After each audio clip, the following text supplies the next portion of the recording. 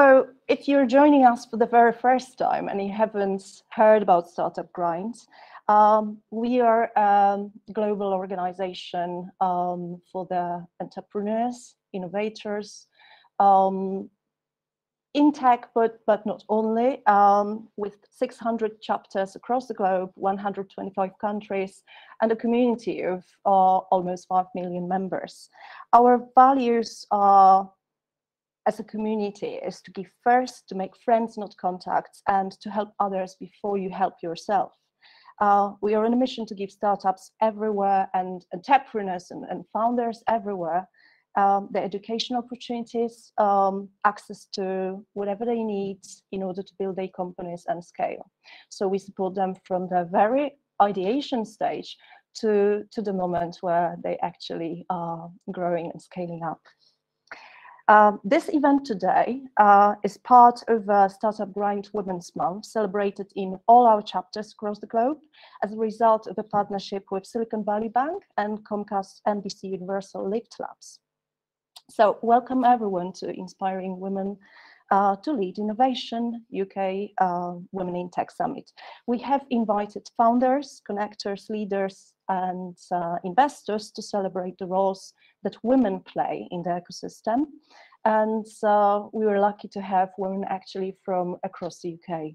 The summit seeks to reshape the perceptions that technology and tech leadership is uh, led by men and uh, is a joint effort of the chapters in uh, Scotland, um, in uh, Liverpool, uh, Isle of Man, and Newcastle and, and, Leeds. I would like to bring Simon Hodgkins to the stage. Uh, Simon is going to co-host the event today with me. Uh, Simon, could you could you say a few words about yourself? I Over can, and, and it's Hello. fantastic, fantastic to be here. Thank you so much indeed for inviting me to share some time with you all today and to thank you to everybody who's joining us uh, and watching in uh, for what promises to be a really interesting discussion. So, look, I'm Simon Hodgkins. I'm going to be hosting and kicking off the very first session uh, in this Women in Tech Summit. And we're, we're going to be talking all about uh, women leading UK innovation. I'm the the founder of something called the Think Global Forum. You can see it behind me, thinkglobalforum.org. I'm also the CMO, Chief Marketing Officer for an organization called Vistatech, and quite a number of other hats that I wear. So it's a pleasure to be here, and I'm delighted to be kicking off this first session at this very important uh, UK Women in Tech Summit. Thank you, Simon. Well, let's get started then. Fantastic. Okay. Well, look, uh, thanks very much, everybody. Uh, I'm going to be uh, introducing some people uh, in a moment, but I, I, just wanted to just recap on what we're what we're hoping to get out of today's summit. Obviously, um, it's important that we share what it's like to be a woman leading a technology company today. And we've been joined by some experts uh, and some leaders in the technology sector to help us unpack that a little bit. But we also want to be talking about the particular challenges that we're seeing uh, throughout the sector and also to maybe explore things when it comes to things like challenges that are particular to women in tech, but also maybe around things like um, raising finance and what the implications are for that. I think Simon's probably trying to reconnect. Yeah. Uh, so he, he should be with us in a, in a couple of minutes. Uh, what I'd like to do is to invite um, Mel, Carolyn, uh, Sheila, and Carmen onto the stage uh, while we wait for Simon. So um, please, ladies, if you could join us. We, we and, can start uh, introducing ourselves while we wait. Exactly, yes. Um, shall we start with Carmen then? Yeah, sure. Hi, everyone. My name is Carmen. I'm based in London and I'm the co founder and CEO of a company called Ivy Tech. We're actually a service company and we provide startups and scale ups with remote software teams. So we're a staff augmentation team um, and we build long term relationships both with our teams as well as with the clients, which has been working really well. And we're, yeah, head deep into the startup scene. We've been um, running our development teams out of Ukraine um, primarily up until recently. We've still got a lot of people in Ukraine which is amazing. Um, but obviously, with the war, we've been pivoting into different countries as well and are now um, expanding a bit quicker than we had planned. So um, that is an interesting challenge or maybe a great opportunity we've got ahead of us this year. Amazing. Thank you. Thank you, Carmen. Um, Mel, over to you. Thank you. Thank you. Hi, I'm Mel, Mel Ellyard. I'm a principal at Sure Valley Ventures, and we are a seed stage uh, investment fund. We have our fund two, which we're active on at the moment, which is a 95 million fund. It's UK wide, and we're really focused on disruptive uh, software companies and platforms uh, with global ambition. Um, our sweet spots are our, our core tiers, I suppose, as I've described them, are immersive tech, so AR, VR, AI. We've done quite a lot in esport and e-gaming, metaverse, uh, cybersecurity, and Internet of Things. And a typical ticket size for us would be somewhere between 750,000 to probably about 1.25 million. Um, previously, I've worked with, uh, well, across all the major northern ecosystems, working with great tech founders um, and tech investors. Uh, I've also worked with the founding team, joined the founding team of a biotech based in Yorkshire. So I know the pain involved in uh, working inside a high growth business. And I've also got a lot of passion for diversity uh, and inclusion, specifically within the STEM sector. Um, and I founded Include Me, which is a community platform for entrepreneurs in the North. So I shall pass over. Mm-hmm. Thank you. Um, Carolyn. Thank you and hello, good afternoon, everybody. I'm Carolyn Pearson. Uh, I'm the founder of a company called Maiden Voyage. We've been going since 2008 and we specialize in inclusive travel safety, travel security for large organizations. So it's a B2B uh, organization. I'm also chief exec of an organization called Innovent Digital, um, drawing on my sort of 20 odd years in corporate technology, where I manage tech teams for companies such as EasyJet, BBC, ITV, and Sony Music. Um, and our sweet spot is helping organizations to set up their digital centers of excellence. Thank you. Thank you. And uh, Sheila, over to you. Hi everyone, I'm Sheila Hogan, Chief Exec and founder of Biscuit Tin. We are a, a death tech SaaS company um, and we're on a mission to uh, disrupt the way we um, plan for and hand, uh, end of life and um, also life close down.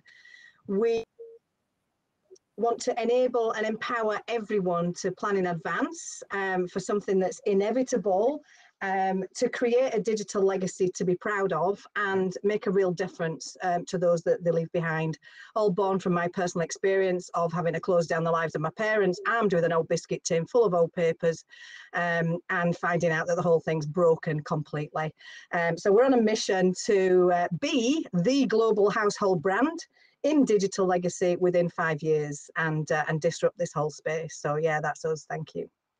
No, thank you very much. Um, that's um, well, you you all bring quite a lot of um, a lot of expertise uh, on the panel. Since Simon's still joining, I'm really not sure why what's what's happened, but um, let me let me start. I I do have uh, the questions, so we should we should be fine, and hopefully he will be with us in a in a few minutes. So um, what are the challenges for the women in technology? That's uh, that's the topic of, of the session. So let's start with that. Do, what, what do you think? Are there any challenges that are specific for women in technology? Is there um, who would like to start? Yeah, I, I, think there are. I think from from my perspective, we've got a lot of you know a lot of experience in the room, so it'll be interesting to see everybody's uh, perspectives. But from mine, I've, I've worked in this industry for lots and lots of years and it makes no sense to me that we don't have uh, you know more women in tech that we don't have a more diverse set of, of people just generally in tech and, and yet we don't. I think things have improved but they're nowhere near the kind of level that i'd expect and, and that I'd, I, would i would like. Um specifically kind of women in tech i think i think we don't have enough role models and i think I think we've got a tendency to be perhaps a little bit shy and not kind of shout about our successes and maybe put ourselves into the spotlight as much. But I think, I think, you know, from my perspective, from a funding side, and I'm seeing a lot of companies, you know, there's there's not enough women in tech. So I certainly do agree with that point.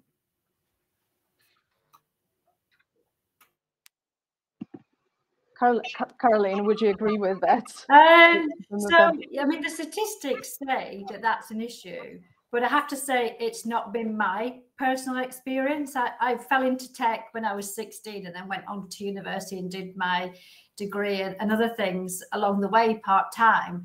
But um, I think I think Mel's right that you know I've never been as a northerner backwards at coming forward so i've not been shy um, and therefore i think i've got really uh, you know i mean of course we all come across people in our careers where you know people are inappropriate or they block us but not necessarily from a you know gender specific some of my best bosses have been guys. In fact, when I was working at ITV and I came up with the idea um, to launch Maiden Voyage, my boss at the time sort of said, you know, I think it's a brilliant idea. And as long as, you, you know, there's no conflict of interest, then crack yeah. on and, and, and, do it in your spare time.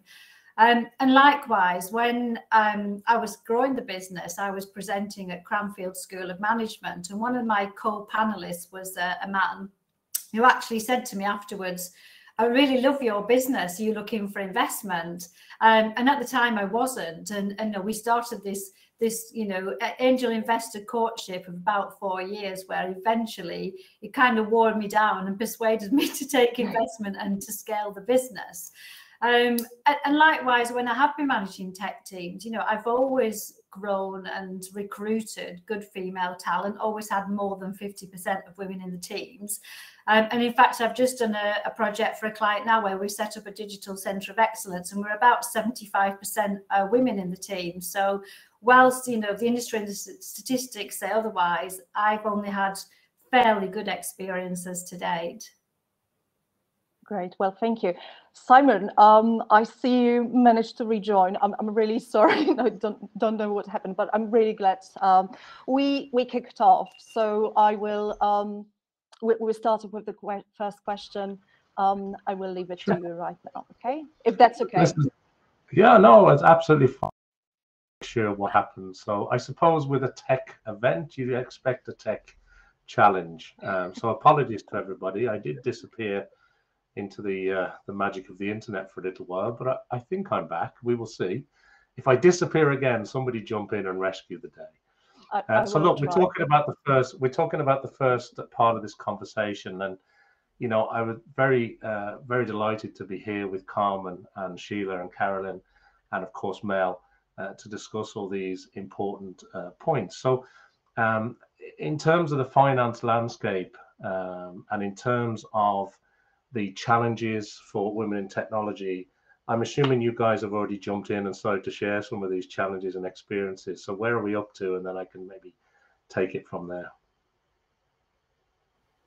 Uh, we have just heard from Mel and Carolyn about um, what challenges they see or have experienced as women in tech. Um, and I guess I've uh, wanted to say on that point that similar to, um, well, uh, I run uh, the IT sourcing company, and although we actually have quite a few, I think we're 35 or 40% women in our team, but a lot of these women are in management, which is fantastic, but we have very, very few female software developers and that is kind of our bread and butter. And we have women in uh, like in the tech teams, but they're mainly QAs and business analysts. So um, I, I've, you know, I'm wondering, uh, is the female brain wired differently that um, women aren't tend to go into that field as much? Um, I think it's becoming more and more accessible to women. I think it used to be also just a very male um, heavy domain. I am really glad to see women getting into tech though and kind of the uh, management and kind of back office side of things, which is really exciting. And I know I get a lot of feedback from especially my female team members um, that say how wonderful it is for them to have a, a female business owner and um, I have a baby as well. And just for them to see, okay, you can be a woman, you can be in tech, you can have a family, and it is possible. And I know it means so much to them because they're all young girls. And they, like you said, Mel, I think there's a real lack of role models. And I feel like I've been making role models myself, and it is so nice to, and I don't have all the answers, but to be there for these younger uh, co-workers of mine and occasionally, you know, put an arm around their shoulder, encourage them, or um, even just live the day to day with them and show them that it's possible. Carmen, uh, some great points there. And do you feel, as a a, a woman founder with uh, women developers, do you feel that that's very unique in your particular field? Like, is it is it sort of as rare as a unicorn, or do you feel the landscape is changing? Um, I think it's changing. I mean, I have most of my coworkers in Ukraine. Um, so, and they're working in IT is probably one of the best jobs you can have, even if you're in recruitment. It's one of the best paying jobs in the country. I mean, if you're a software developer, you live like a king, which is amazing. So, I'm really happy to participate in kind of that generation of a country that actually earns the money I believe they deserve. Um, so in Ukraine, a lot of women try and push to get into IT because it means securing a really great future for their families. And I find that exciting, and I'm really excited to be part of that.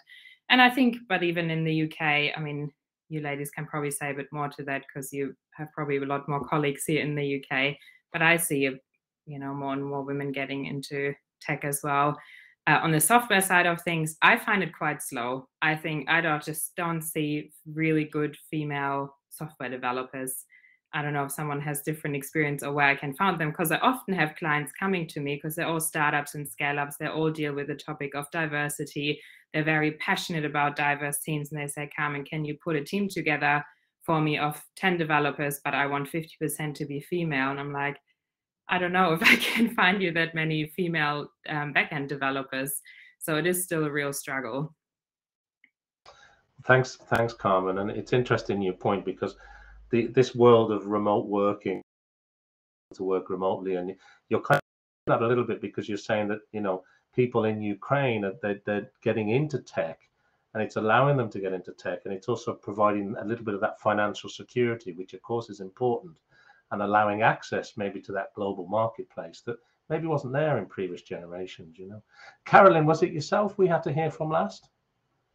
No i've already spoken. I think sheila she would it's probably me. Yeah it's probably me I, I, mean, uh, my my kind of like like Carolyn. Um, I mean, I've never been backward at coming forward. I've been in tech since I left school at 16, um, and and always kind of been in that area and gone through lots of um, buzzwords and cycles and different ways of doing the same thing, um, which we tend to to kind of go through in this space. But um, in terms of the the female thing, it's always been a male dominated environment. Um, and and for me, although um, there are steps and and there are, you know, um, I would hope it is getting better.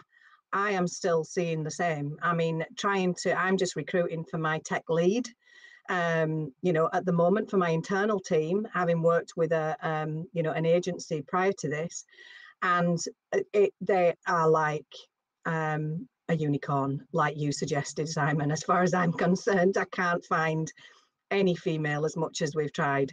Um, and and that that technical lead is going to have to be male. And you know, you know, my team is you know as much as i'm against this because i've always been into kind of like you know the diversity um, thing i was president of you know Scottish Business Women's Association and things like that, and and women on boards and, and a big advocate of that. But um, for my own, I'm thinking, oh my goodness, it's driven, it's it's male at the moment. Apart from me, the founder, you know, the the kind of key resource that I'm having to bring on board, you know, in in here is is male, and I, I'm you know I will have to tackle that. Um, but right now at this early stage, I just need to get us moving. So I'm going to have to go with, um, you know, with what we've got. And even finding a male tech lead will be a challenge. it's just yeah. such a crazy hiring market. It's it's, it's really hard to tick all the boxes at the moment touch yeah. wood, I've had some stellar candidates, and I'm about yeah. to offer next week. But uh, yeah, oh, yeah. Um, so yeah, quite exciting. But but yeah, a bit of a disappointment that I that that I've no female candidates at all, not even in the selection process, right? Um, to get to the shortlist, never mind being in the shortlist. Um, yeah, it's um, interesting. At the, at the time of recording, we're seeing that some of the very large tech companies are actually laying off staff, particularly in the US markets. And and yet when it comes to sort of your local business and trying to find that all important tech hire it's still a it's still something we need to work on significantly because there is that lack that you're referring to sheila so in i, I make sure i haven't missed anybody when we're talking about that that first piece everybody's spoken so i'd like to in the interest of time because we you know i have sort of lost a little bit of time here i want to maybe move the conversation on if i can and talk about the financial landscape. We've talked a bit about the people landscape there and some of the challenges uh, for women in tech. But when it comes to the finance landscape, when you talk about male dominance, it still seems to be, from a, you know an outsider looking in, very male dominated still. Uh, and I've wanted to raise the question with this panel about, you know, are the VC women funding women? Is there are you seeing a lack of women VCs? And when you are raising money for your own business, whether that's been in the past or if you're potentially looking to raise funds in the future. Uh, how are you looking at that landscape? Are you seeing that that, that as a, a similar challenge to a resourcing challenge when it comes to funding? Who'd like to kick us off? I, I can pick off there, sure. Simon. Um, yeah, because I've just recently done my first round of SEIS um, investment. I'm on the circuit again, though, for the next round. Um, we can't rest on our laurels too much in this world. Um, but um, yeah, so I mean, I, I again, you know, in terms of there are, you know, more, um, you know, female even angel investors, and um, there are some female driven funds, um, you know, around there now, and these diversity kind of like driven um, funds.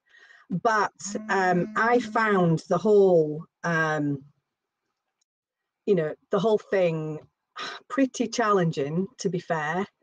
Um, I found right just understanding when you've never done this before. I mean, I've run businesses for you know for 30 years, but never businesses that I want to scale up like I want to do with this, and never needed, um, you know, some equity um, before. So it was completely and utterly new subject for me.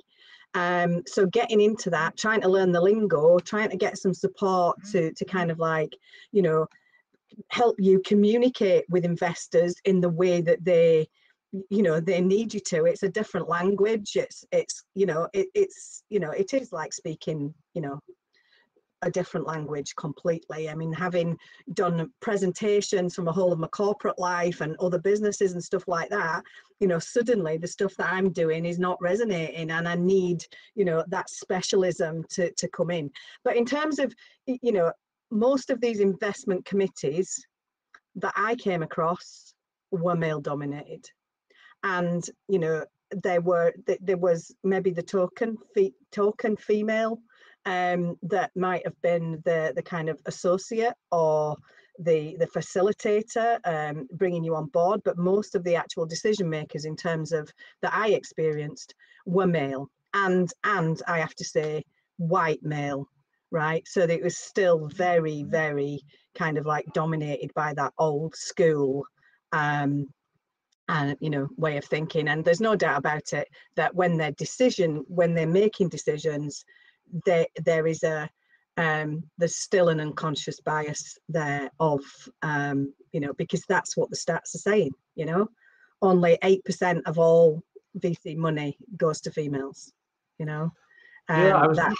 that. Yeah, thank thanks Sheila because Jesse in the chat has asked that. Do you think age has played a part in that from a, a VC or a fund round, a funding round?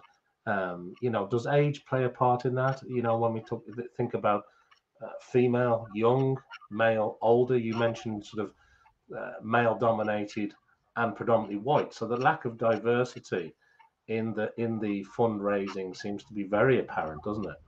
It is. It is. Yeah. Yeah. And just to your point about the stats, I was looking at TechCrunch, um, and they they were reporting back in 2020 now, so a little while ago, they said that only percent of VC funding, all funding, went to women, which is Mm. incredibly, incredibly small. And then I, I looked to see well, what, what's it like more recently, and venture capital funding was at an all-time high, believe it or not, during 2021. But still, companies that were started and ran by women, they only received just over 2% of the funds again. And that was against the backdrop of VC funding being incredibly high, uh, which is the smallest share, according to TechCrunch, since 2016. So even though it was an Mm. exceptionally strong year for VC investment, particularly across the market, where it's sort of these previous records, almost 330 billion in the US market alone. Out of that 330 billion, only 6.4% went to female founded startups. Yeah. Uh, PitchBook, PitchBook also uh, mentioned that statistic uh, as well as TechCrunch. So, um, is that your experience? Is that what you guys are seeing when it comes to investment? You know, Sheila, you're sort of saying, look, I, I I found it. I needed help with the lingo. Hadn't really done that kind of thing before, but it was just male dominated. Is that is that common? Uh, like when you go out looking for finances, are you finding that a challenge for a woman founded business? Or does it make no difference? A VC is a VC. I'll let somebody else speak and rather than monopolize it. I'd be Yeah. quite interested to ask the question. Um, if only 2% went to women, let, is, is there a statistic about the number of people who pitched and got the money? Because actually, I made a conscious choice not to go down the VC route because um, I'm I've my my business an emotional business. It's not something that I want to scale and sell quickly. Um, and therefore, for me, it was important that I had a, a, a good relationship with my angel investor and actually relatability. Um, and therefore, I didn't want a traditional, hard nosed, cutthroat VC investor who was looking to flip me for maximum profit. Um, and therefore, it, it wasn't a particularly a route that I went um, to. And actually, when I have been on the investor you know eco um, circuit really i think a lot of people have said to me that yes that people look at the figures but actually they also look at the entrepreneur do they like them can they work with them do they trust them? Um, are they you know relatable? And, and actually one of the things that helped me in my corporate career and i think which has helped me in my business is actually being able to speak finance. Um, so years after i finished my degree i went off and did an mba and I felt that actually in the corporate world, if I can pitch a business case to a, a, CFO or a chief exec, which showed them, you know, return on investment for, you know, m- maybe a big tech project, then actually I had more credibility in the boardroom. So I don't know if it's just entrepreneur speak, but also finance speak, which is useful.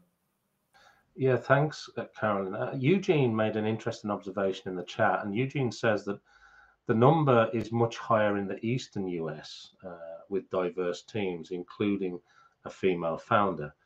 And his, his comment is about that the numbers being that I was quoting there are for female teams with no male and generally no minorities, and that not all VCs are equal. And I suppose there's some truth in that, and suggesting things like first round capital, B capital, first steps capital. So, you know, we are seeing some changes when it comes to uh, women led VCs. Um, but it still feels very male dominated to me anyway i got to be honest with you anybody else any views in terms of uh, the financial landscape when it comes to raising money as a as a tech founder well I, I suppose i can tell, talk on, on on both sides to some degree and i i, I do yeah. find that it is very uh, very male dominated i think things are changing, but they're changing very slowly.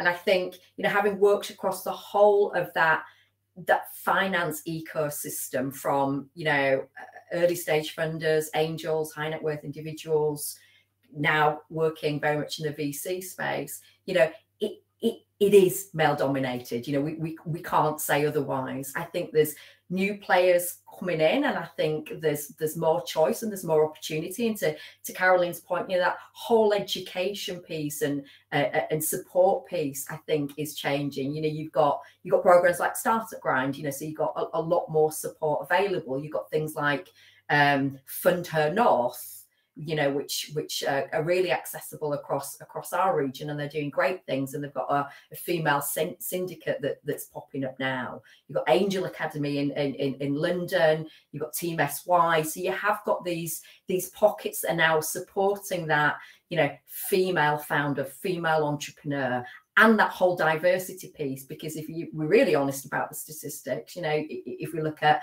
um, you know black women of color in this space then you know that kind of drops off a, a, cliff as well. So i think there's there's more work to be done. There's more questions that that kind of need to be asked uh, around this this this whole area i think.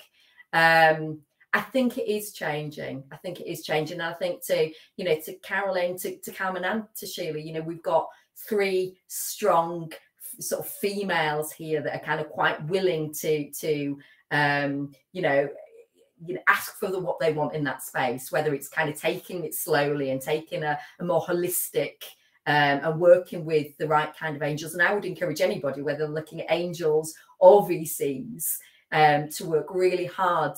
Um, give yourself enough time to make sure you are getting into bed with the right funder at whatever stage of, of, of funding you're looking at. You know, as you know, Sure Valley we would say we are an entrepreneur led VC. You know, all of our team members, all of our founders come from an entrepreneurial place. And we've actually got a really diverse team, which which I fully celebrate. You've got people like Diversity VC that are looking to kind of regulate, support diversity within the industry.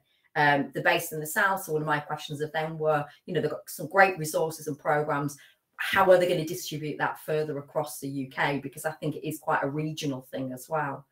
Um, so yeah, if, if that's helpful from a, a VC perspective. I think I think it's exceptionally helpful, Mel, because um, back to the, the comments for a second, Eugene said as well, if you take biotech money out, it changes it a great deal. But I think your point is really very valid because there are pockets of inspiration, maybe if I can use that term. Yes. There are there are definite examples we can port to where it where it is changing.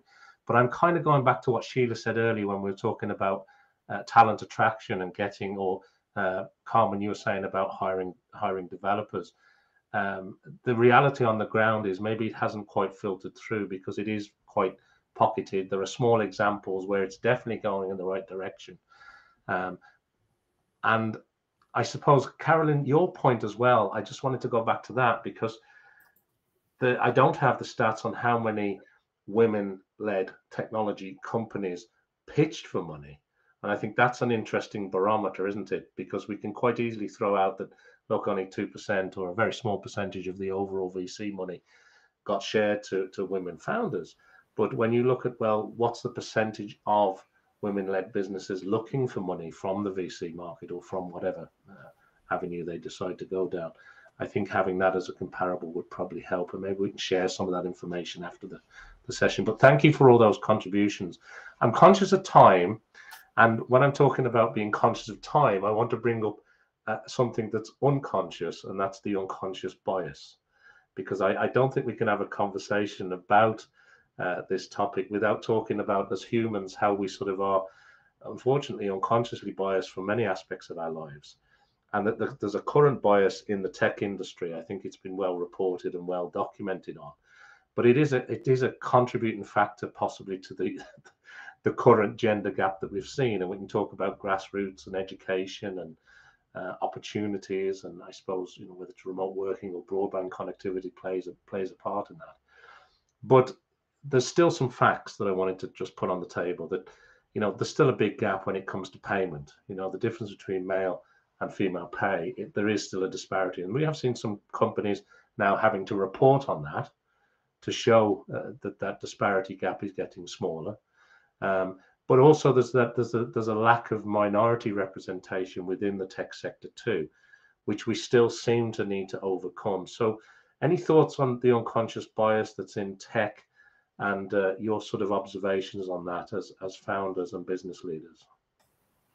I can give an example. I um, I was in the technology leadership team for a FTSE 100 company, and every year we got together and we did the salary reviews of, of the team. And um, and I was the only female in the leadership team, and um, the guys, you know, started talking about who in the team had done what. And one of the project managers or delivery managers, his project was consistently late. Um, it was over budget um, and not doing great. It was coming back every five minutes for more time and more money. Um, we had a, a, a, woman in the team um, who actually was under my vertical, and, and her project. Well, they both were actually, but the woman in um, in question was doing an AI type project.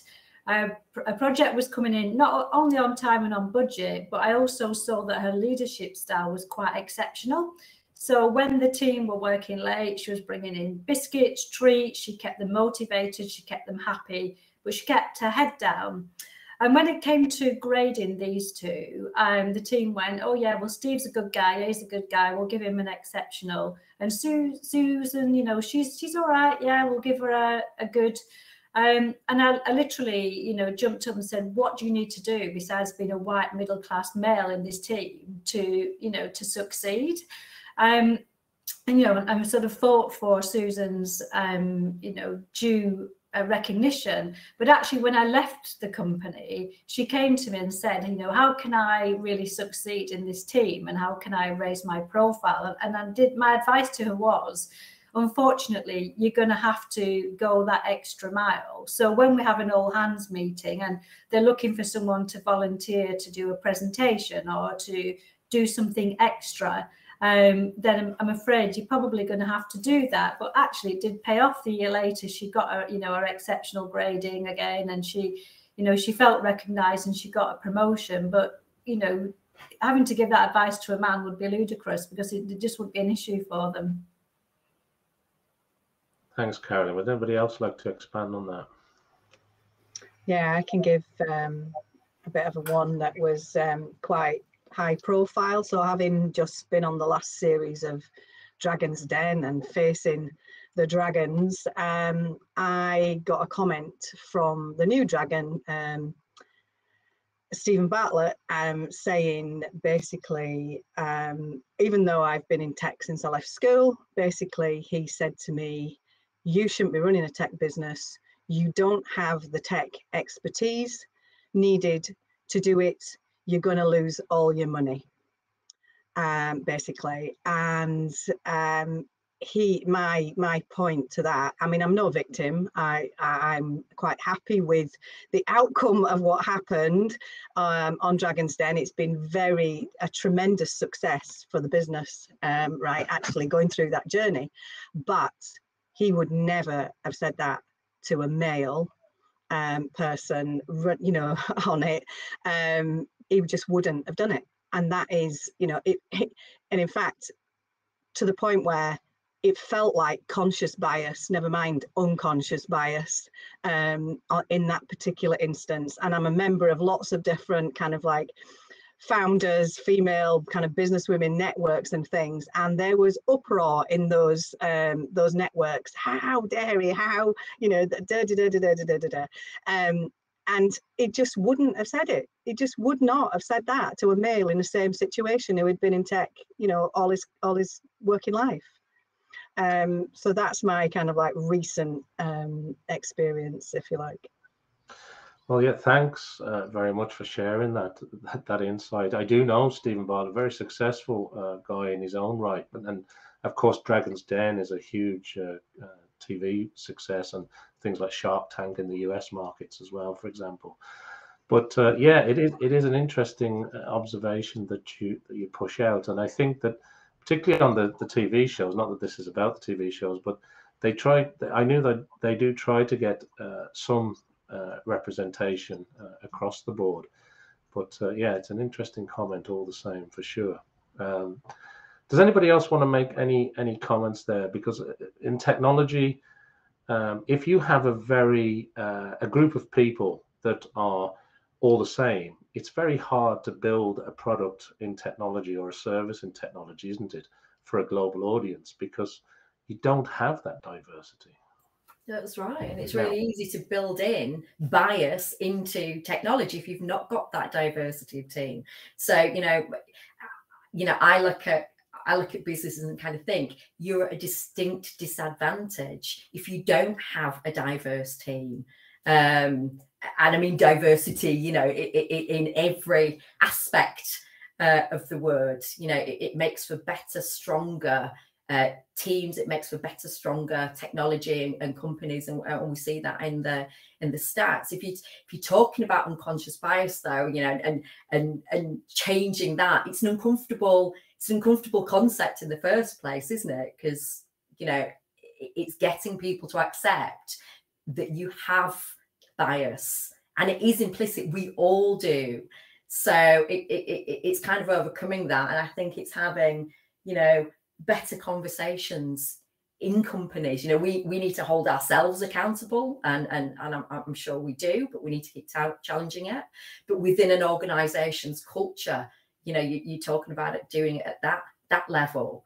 And you know I, I keep referring i guess to the the leeds ecosystem because it's one that i know um, very well. But you know I, i'm really pleased to see people like um, annette joseph who some of you might know from diverse and equal you know, actually not just doing the research because I think you know when she went out with her report there were probably no surprises there but going to that next level of saying okay organizations then this is what you can actually do about it from a practical perspective and helping um, bring about that kind of transformational stuff that needs to happen within organizations and the culture and i think that's really important. And it's not just a one-off thing is it? it's kind of a, a cycle that, that that companies probably need to go through. Yeah more work to do here i think mel but yeah great great comments. I really appreciate them. Um, we're up against the clock here and there's some really important things i want to touch on but i also wanted to just give a quick shout out to um, Eva, I think, was talking about a book called Invisible Women by Caroline Criado Perez about exposing data bias in a world designed for men. Uh, that's definitely on the, the to read list. So thank you for sharing that. Um, Carolyn, you made me laugh talking about the Trunki. Uh, I remember the Trunki episode on Dragon's Den. And of course, Sheila was on Dragon's Den with her own business. And uh, Jesse is saying, has anybody got any examples of, of male colleagues actually calling out unconscious bias? Um, so we do appreciate all those. But look, we've talked a lot already. We, we've discussed some of the challenges that we see. We've discussed the financial landscape and VC a little bit, and we've, we've now sort of explored unconscious bias. And I want to sort of change direction a little bit as we come almost to the end of the session today. I want to talk about some of the positives and some of the exciting things in the world of technology because we've got a great panel here, and I'm just very keen for you to share what's exciting you about technology, what's currently exciting you about your business, and what are you most looking forward to, or what are you working on at the moment. So maybe, maybe if we go round, and maybe Carmen, will we start with you? Maybe. Yep, can do. Um, well, I think I touched on it earlier, but one thing that's always excited me about Ivy Tech is, and tech in general, is how technology um, especially Eastern Europe, because that's the market we're focusing on, but is just bringing a completely new standard to a country that you know for for for many decades was quite poor. And um, being part of that change through technology is exciting because in i mean again i talk about ukraine that's where i've worked for the last few years. Um, the the wages, the opportunities to travel, the opportunities. All our teams work directly with the customers who are usually in the US, UK, Australia, Europe. They're on daily calls with them. They get invitations to meet them. It's a whole new world is opening up to them. This is something that without technology would not be possible at this scale. So I find that you know for all have to overcome, there's also a real um, inclusion happening of because I think countries like Ukraine have been overlooked for a really long time. And um, through tech, because they're just incredibly good at engineering and STEM and um, IT, they're kind of on the world map now alongside some other really great Eastern European countries. And um, that's, I find that really exciting. I've always been proud of being part of that. And that's, um, yeah, even now with the war, is uh, none of our team members have lost their jobs. And generally if you're in IT in Ukraine right now you're even if you know your customers folded the project you'll have a job within a few days or weeks again. And we're still recruiting in Ukraine uh, thanks to our customers who trust us with that which is great. But again I'm like what a blessing. And I just you know imagine crossing the border with no English which is something again that IT gives you um, and a job like I don't know, a school teacher and all schools are closed down. It's incredibly hard. So again, IT just opens up a world to um, yeah, a lot of overlooked people and nations. So that's what's been making me really exciting about my own business and just technology in general. Well, continued success, Colin, with that, and thanks for sharing that. Yes, there are there are actually some wonderful technology stories coming out of the Ukraine and some technology companies that are really operating in very challenging situations. So thanks for thanks for sharing some of what's exciting you about technology. Who'd like to go next?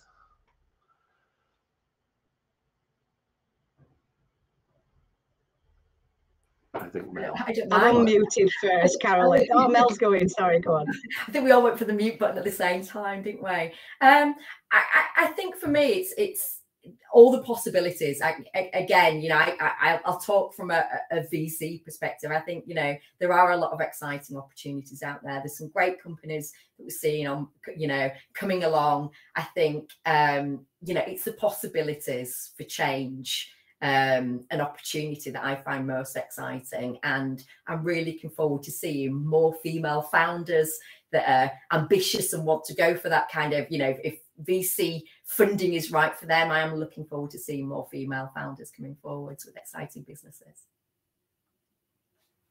Thank you very much indeed, Mel. Sheila, would you like to go next? Yeah, can do. Yeah. Um, I'm very excited. Having just thank you to Startup Grind Scotland, by the way, for choosing me as one of the people who went across to Silicon Valley to the global conference. Um, and thank you, you know, to the global organization for all of that. But I'm really, really excited about, um, you know, the world of Web3 um, and and how I am um, setting up, you know, what we've got at the moment to take advantage and and optimize and be ready, um, you know, for moving into that space. I mean, we're well set up anyway in terms of we are a personal digital vault. Um, you know, uh, etc. But there's lots of stuff that um, that we're also doing to get a straight through process um, on life closed down, if you like. So I'm really excited about that. I'm really excited about, you know, getting an absolutely brilliant team that's going to help me grow and scale up this business. Um, and and also, and, and the big thing is getting, you know, actually making a difference to people. Um, you know, and and changing the way, you know, this this thing works and making it much better, removing all the duplication and removing all the unnecessary headache and stress that you have to go through to close through some down someone's life at, at a time of you know real emotional distress. Um so yeah for making a difference on that would be just fabulous. Yeah that's wonderful. Thanks for sharing that. Uh, carolyn um, what's exciting you? I think what what's excited me is what what tech has given me as a career, or you know, over, over the last twenty years, really. Mm-hmm. Every company needs tech, so you know, if you are dithering about whether or not to make this your, your choice of career, then I would say do it because you know the tech is a given, but then you can choose the industry, the geography, where you want to work. So it's afforded me the opportunity to live and work overseas for a number of years, to learn new languages, to travel the world, you know, paid. Um, even having worked for an airline where I could fly around the world business class for a hundred pounds a time. But also, I think it's massively a candidates market now. So you know, it is pretty much a license to print money, and um, and I kind of stepped away when I launched my business. Yeah, there's there's a tech element, there's e-learning in there, but the pandemic showed that I could just go back after six years out and pick it up just like that.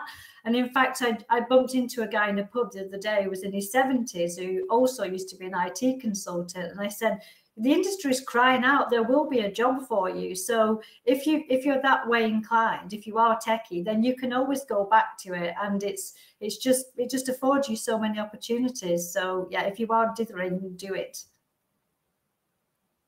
I think that should be a t-shirt. If you are dithering, just do it. I like that. well, look, that's been some wonderful advice, and I know we're right up against it. And there's a couple of people asking uh, uh, if there's another session. There is another session following this, so stay tuned.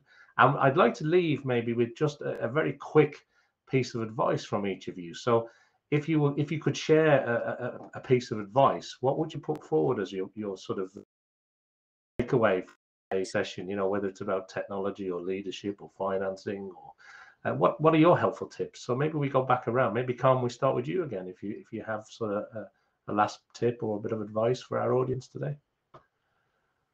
I think my tip would be to um, intentionally seek out a good advisor, whether that's male or female. But um, I've only recently really had a coach and an advisor to my business, and it's been so life changing for me in for, in terms of my confidence just someone there you know that knows the business i can pick up the phone and know where i'm at and i didn't have that for many years except my husband who's been also very supportive but just someone outside of my family has been fantastic. So look for an advisor or a mentor and make an effort to find someone that suits you.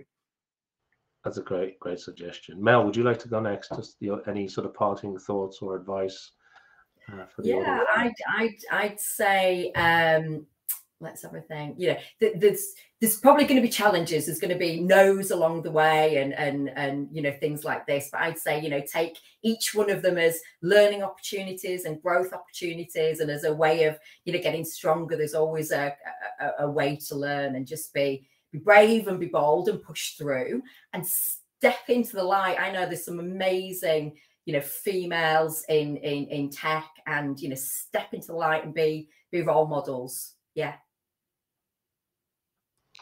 Wonderful. I love that. Um, sheila over to you.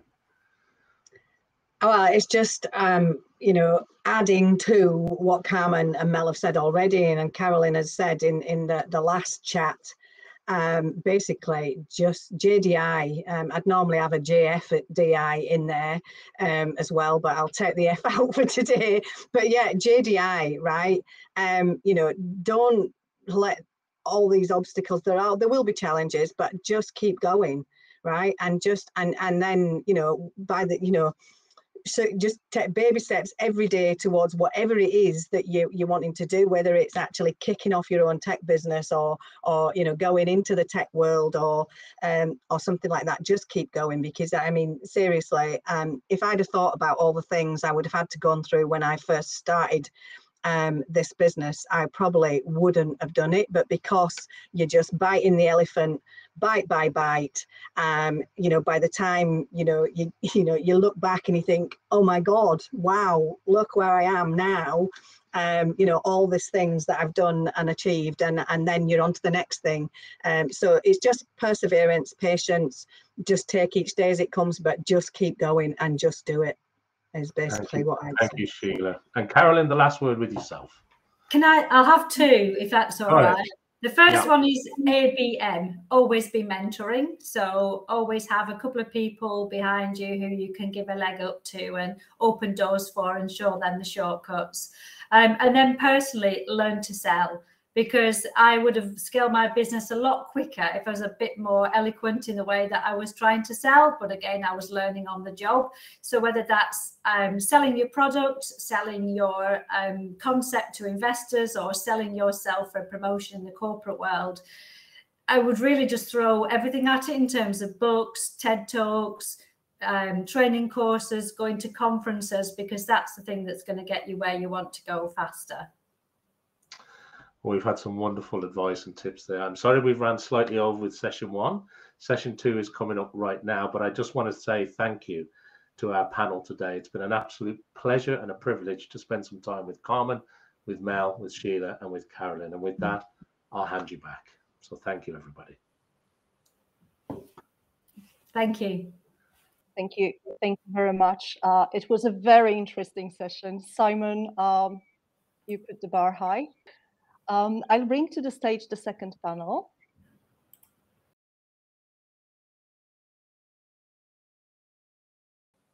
So while while uh, while we're just getting the second session up, it's going to be a, a great panel. We're going to be talking about uh, women's leadership. Uh, we're going to be joined by Karen Jones, Beena Sharma, uh, and Joanne Thurlow for what yes. promises to be a really great in-depth discussion. So I'll hand back to you. Thank you very much, Simon. Amazing. Okay, you can we, we can see everyone and Karen Jones as well. All right, well, thank you very much. Uh, so uh, we will kick off the second session, Inspiring Women's Leadership. We'll look at uh, how to be leaders and, and what it means, but also how to how to inspire others to, to be great leaders. Uh, we have a wealth of knowledge and expertise in the room, and um, I would like to ask you to, to introduce yourself. Joan, could we start with you, please? Sure, thanks. Joanne Thurlow, I'm representing the Isle of Man, um, which I have the privilege to do now that I live over here. Um, you will picked up maybe from my accent, I'm not British, I'm actually Canadian but I do live over on this side of the pond. Uh, I am currently a part group, management consulting group that is based out of Germany, but we have worldwide coverage where I focus on digital transformation, sustainability, IoT, and ESG, which obviously is a big topic um, you know, impacted everyone. It's not just the digital transformation. And I had just earlier this year left Siemens Energy, where I had been for 10 years as a global head of IT, managing the IT for one of our business units. Um, which was in 40 countries, across 40 countries, and uh, for about 4,000 employees across 40 countries, 1 billion euro business and managing the digital transformation of that business for going forward once we did an IPO.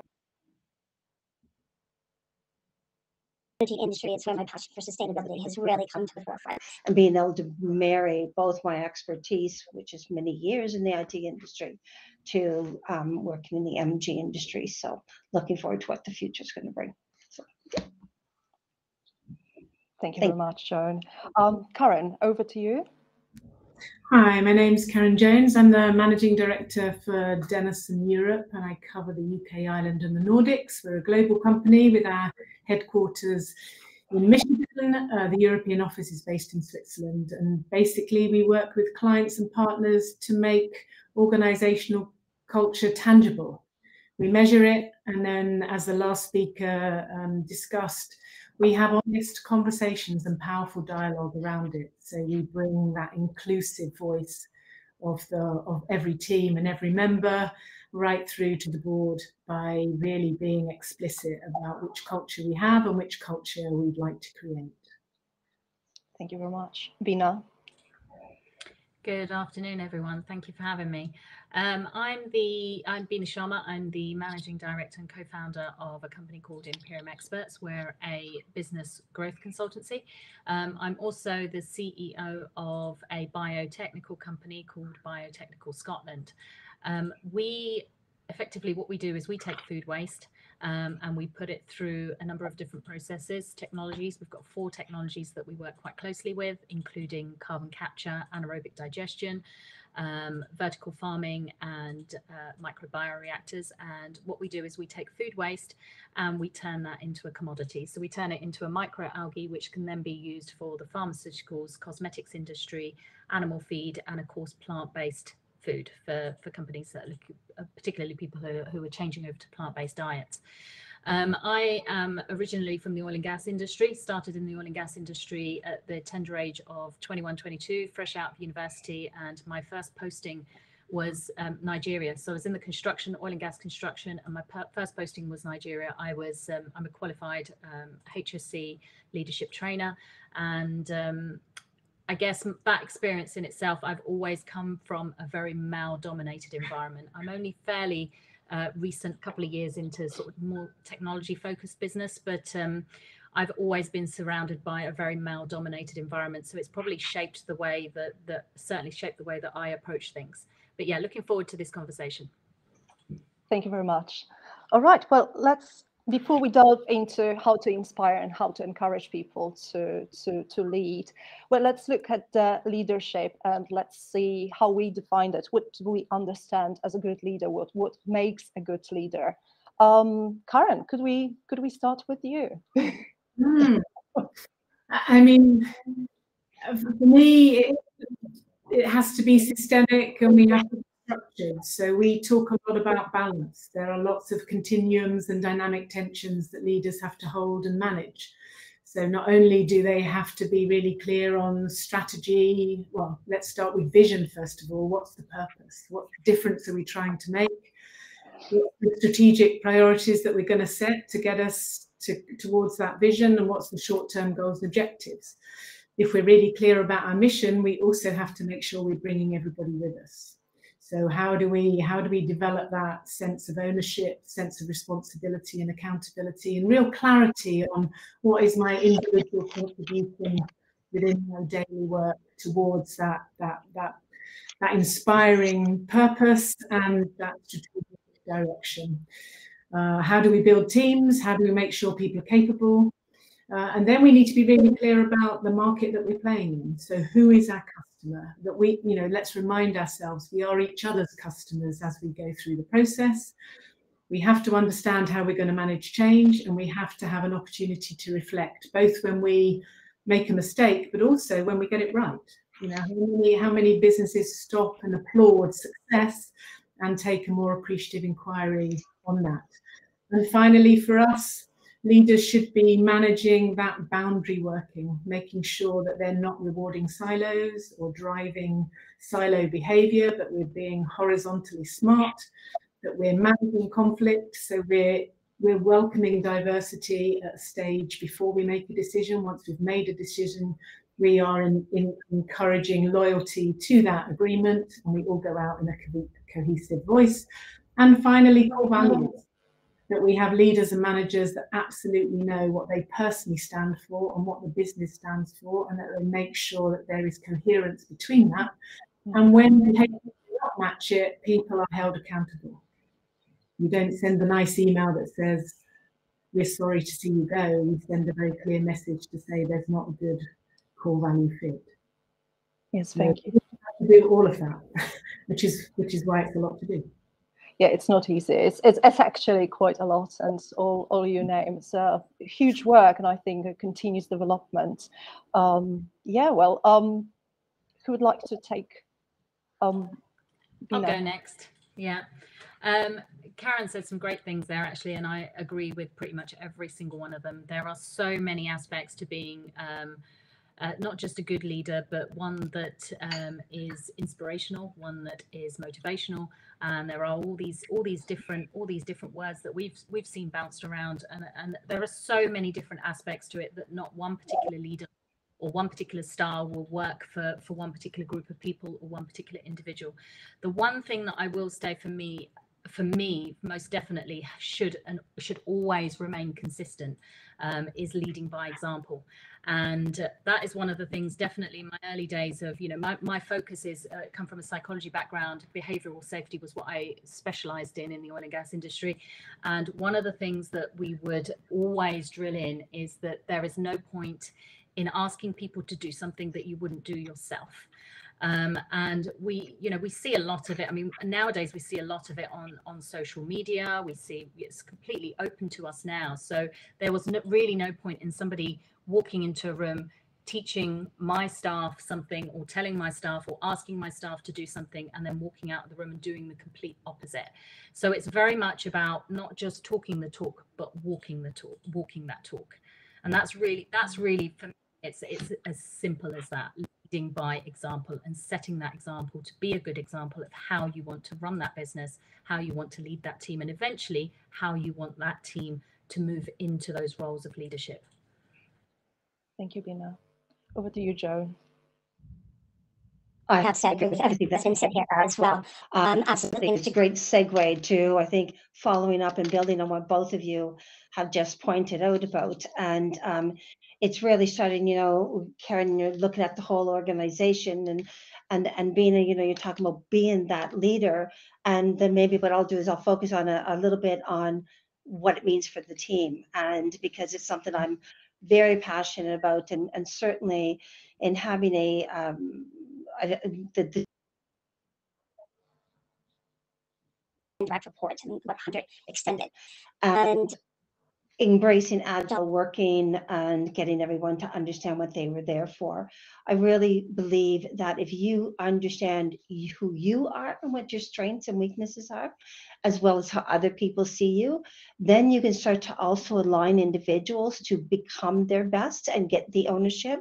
So I've really fostered a culture of ownership within my direct team. They became those leaders that you were just talking about, Beena, and they then subsequently took it out. And we did that by, you know, we all took the same type of training. We created awareness.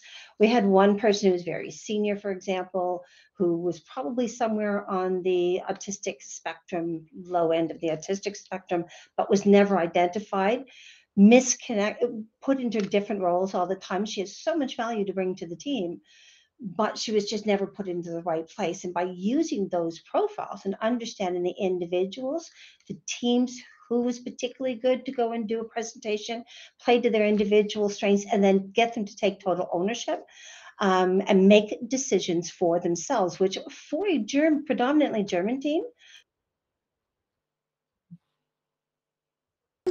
So for me, that's where a lot of that leadership would come in is to get them to also be the leaders themselves and going forward and, and totally empower them to to as if it was their own business. And they really did. We we managed to very successfully create that culture. So yeah. Thank you very much were a lot of challenges for for business owners for for, for leaders um, during the the pandemic. Uh, we had to kind of shift to a different type of work. Um, and it's probably the leadership styles might have been affected in in a way. Would you agree that it's kind of the, the current situation when we've got the hybrid model still calls for more kind of empathetic uh, leadership and more transparent leadership has has anything changed? Do you do you see any any shifts? Who would like to start? Um, um I guess I'll start. Yeah, yeah. Go ahead. No, go, go, go, go. Oh, okay, sorry. Uh, yeah, I'll, I'll, I'll, keep it a bit short. What my experience has been is that yes, leadership did change. It did become more transparent and in many ways more human and personal because that aspect of having those meetings where you're coming into your CFO's or your CEO's home. Yeah break down a lot of barriers. Um, challenging for some, um, particularly with the older style. You know, I want to see a bum in seat, and then I want to see you there every day and know that you're working and having to accept it. Um, I think a big culture shift uh, at, the, at the end of the day, but I do think it made it more transparent and more personal and humanized. I mean, we've all seen the videos of the dog barking or the baby stepping in or whatever. And I think that's just been absolutely brilliant because I think, yeah, we've just really needed it collectively.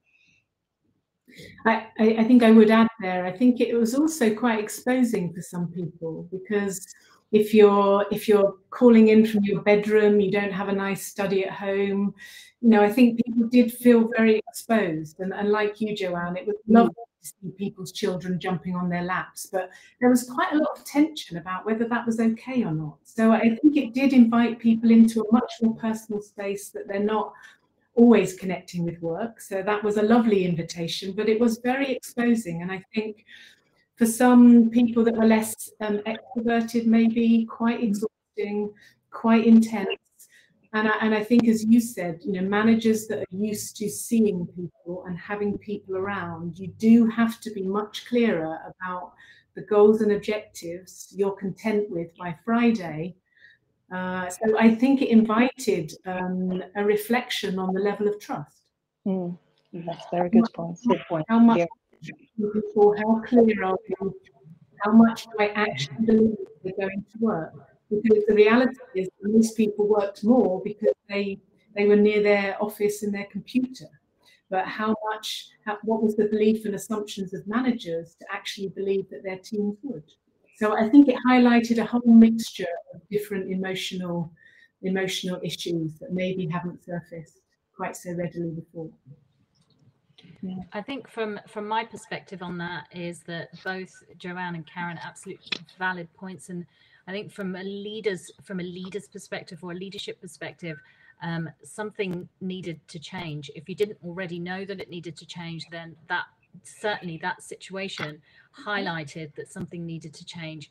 It certainly closed closed some of those barriers. You know, people discovering things about their leadership team that they never knew before. Um, people discovering things about their employees that they didn't know before. Having a bookcase behind and spotting a book that maybe you've got some similarities with. And in a lot of the training that I do, when I focus on sort of leadership, supervisory, mentorship, etc., and how these people coach their teams, how they coach their their employees, um, the the focus is a lot on establishing some sort of um, some sort of relationship based on maybe it could be a hobby for example maybe it could be in something that you're particularly interested in or something that you do or children etc and that quite often leaders find really hard to do. Um, and the whole situation of putting us all in our homes, suddenly that was no longer protected and you had to step out of that comfort zone. You didn't have a choice as a leader. You had to step out that comfort zone.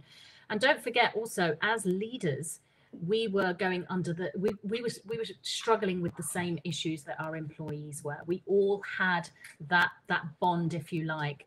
Um, quite a lot of conversations would start with well what's the covid situation? What's happening today? What are the restrictions today? How's that going to affect business? So we all understood that from the same perspective. And those those hierarchical barriers suddenly disappeared. So I think from a leader's perspective, it, it encouraged us to step out of our comfort zones where maybe we were very comfort comfortable in our little offices, in our in our particular particular building where people would have to knock on the door and come and speak to us.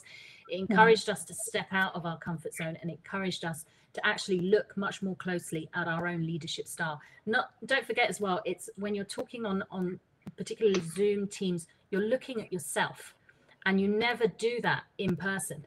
And suddenly you can see your mannerisms you can see how you react to people you can see those facial expressions and you can get pulled up on those things. So suddenly you're having to appear to be a different person to what you may have normally been if you weren't facing what i call the mirror. Yeah thank you. It's a great point. I think um, I, I would say it's changed for for good. Maybe we had to go out of the comfort zones. Like you said, we were closed by and divided by walls. On the other hand, we opened the door. We had to. We had no choice, and and it probably brought something something better and into the leadership. Um, I know you've had amazing journeys, all three of you, and and really exciting careers, uh, very often transitioning. Um, what I'd like to, and what I'm interested in, is if there was any particular, if there were any particular challenges or a particular challenge that um, that you had on your journey, and then a breakthrough moment when it kind of shaped you into uh, into who you are right now. So, so sometimes we have those moments. There's something happens, and and the shift comes. So um, who, who'd like to start? I, will I'll share a kind of uh, a, a, personal one. You know, I, I, I, became a single parent, so my breakthrough moment was having to earn more money. Oh. I, I went for a job that I probably wasn't completely qualified for, but I was motivated, and and I have to say, she ended up being one of my best female bosses. And the breakthrough moment was she was prepared. Uh, it's the most kind of, um, I think she was very courageous. She said, Karen, you know, I don't think you're the best qualified candidate, but there is something about you that I don't think the other candidates have. Uh, and I think what you don't have, I can teach you, and what you do have, we can really utilize in the business. So she took a gamble. And she said, I'll, I'll, I'll take you on a six month trial. I'm not going to pay you the full salary because I'm not sure you can do it. But if I think you can do it, then actually we'll we'll review that in six months. And she was good to her word. She took that risk. She took that gamble. She made it very clear as a single parent. Um, it was in public health. So when there was a crisis, I do need you here. So just tell me you can cover childcare. But you know, if there's no crisis, I'll trust you to manage the job as you need to manage it.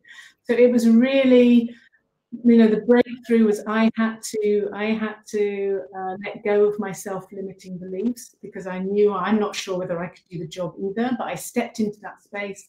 I kind of owned what i could bring to that job and then i learned so much from her. She was one of the best bosses i had so. And then the system put her out sadly because she was too clever and too smart. Uh, and that's that's the tragedy. So let's let's have cultures that don't do that anymore. Yeah yeah well, thank you very much for sharing that, Karen. That's that's really, I, I think, one of those moments when we are scared to do something and then actually it changes everything and and you take a different path. So very inspiring. Um, could I, like I can go next. Um, yeah, I think um, for me, one of my breakthrough moments. I've had I've had a few actually, um, and a lot of them have been um, upon self reflection. Um, I always considered myself to be, you know, um, a, a, nice boss, if you like, um, kind and all the rest of it. But I, but several experiences, I began to realize actually some parts of me that I didn't like, um, and it was situations where I was put in very challenging positions, or maybe there were individuals in the business that weren't performing that I knew was crucial to the success of the business. Um, and suddenly I found myself, you know, speaking in ways and doing things that that I would normally frown upon.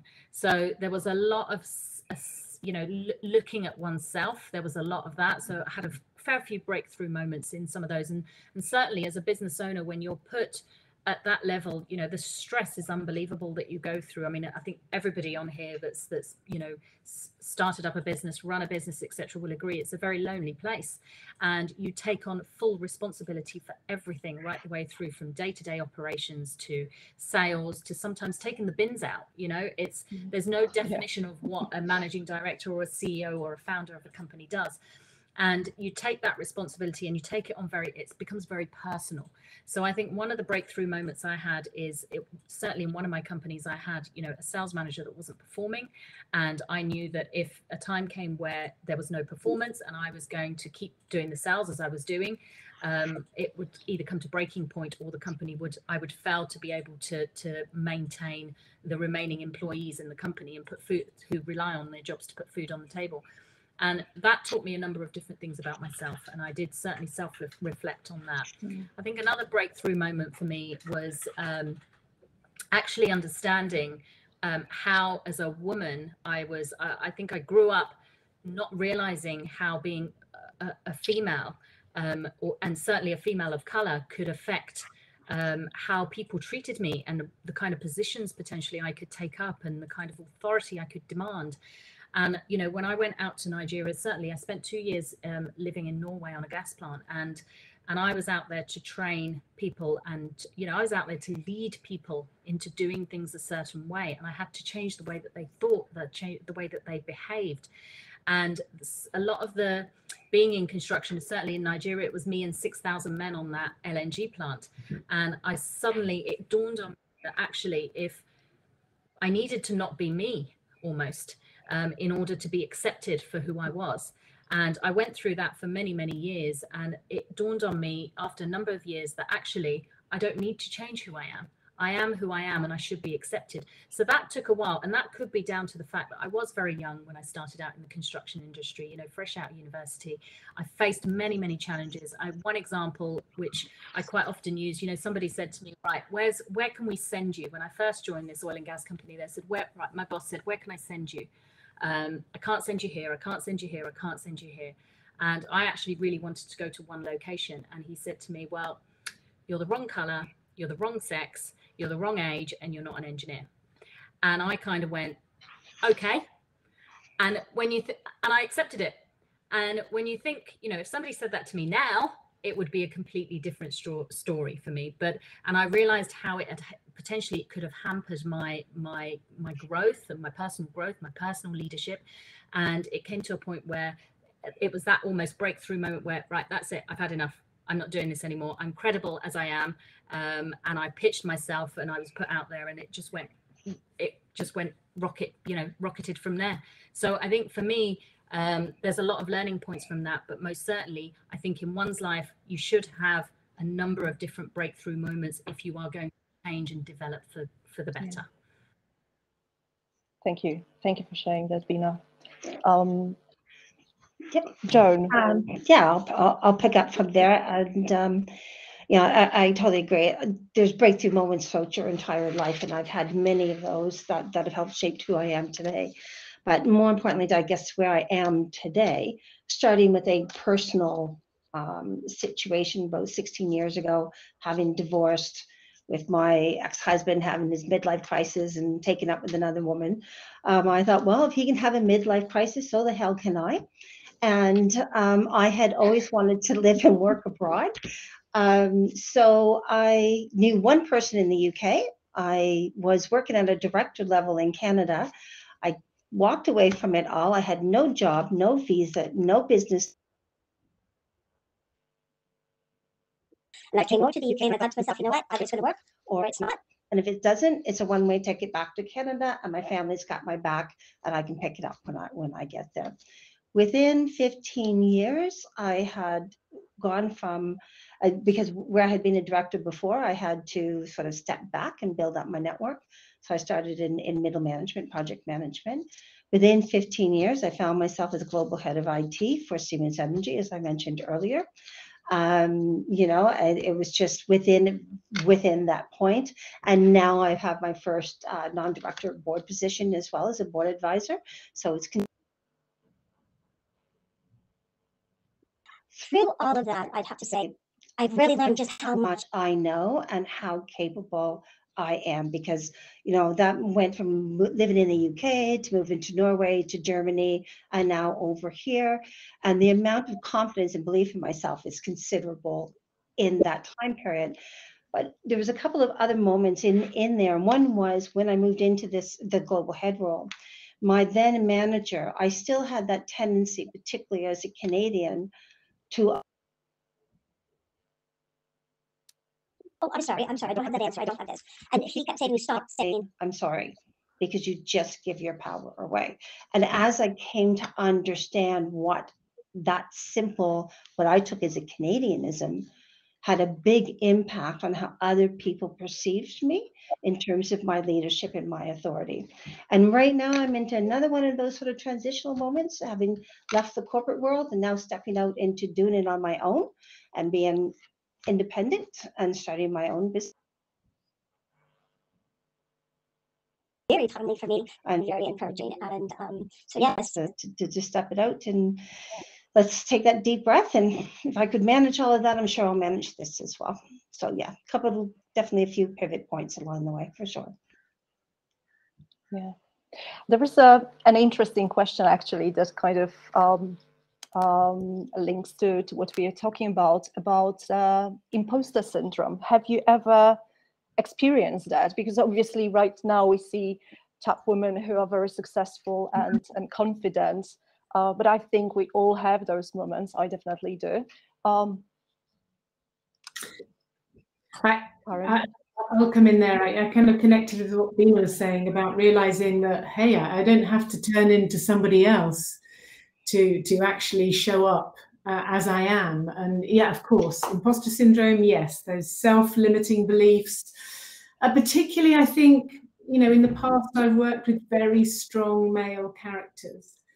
Uh, and kind of, you know, I, I, lost a colleague very quickly two years ago, and I, um, you know, he died very sadly, uh, and I had to step in. I had to step in to a to his space. And actually, um, I had no choice. So I couldn't allow self limiting beliefs to get in the way because there was an imperative to look after the team and, and step up.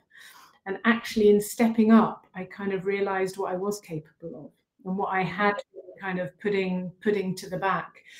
And I think when I do uh, 360 leadership assessments, I can generally guess when one's going to be a female because th- their self assessment has a lot less color than the assessment of everybody else. And generally, the males are the opposite way round. Now, you know, uh, but there, there's there's no self regard in both those cases. They just show up very differently. Yeah. And I think you know i'm now really interested in the concept of you know the wounded leader how do we step into that space knowing our wounds really being clear about the scars that we have, what created them, you know, how deep they go, and actually giving everybody else permission while we're trying to do the do, there is the being behind it, the humanness. Yeah. And now, you know, maybe it's because I'm turning 60 this year, you know, I now kind of feel actually I'm okay.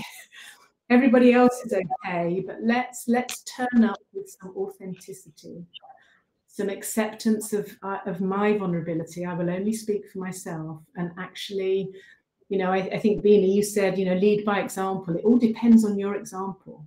Some leaders are leading with an example that you wouldn't want other people to follow. That's so, point. You know, I want to lead by an example to say, yes, I, I know my tender bits. I know when I'm scared.